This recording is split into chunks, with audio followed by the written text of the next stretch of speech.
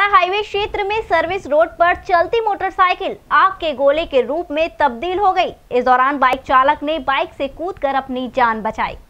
यह दृश्य है थाना हाईवे क्षेत्र स्थित राष्ट्रीय राजमार्ग की सर्विस लेन का, जहाँ तेज गति में दौड़ती बाइक आग के गोले के रूप में तब्दील हो गई।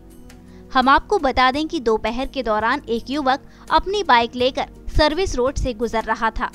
तभी नेक्सा और मारुति कार शोरूम के बीच उसकी बाइक में अचानक आग लग गई।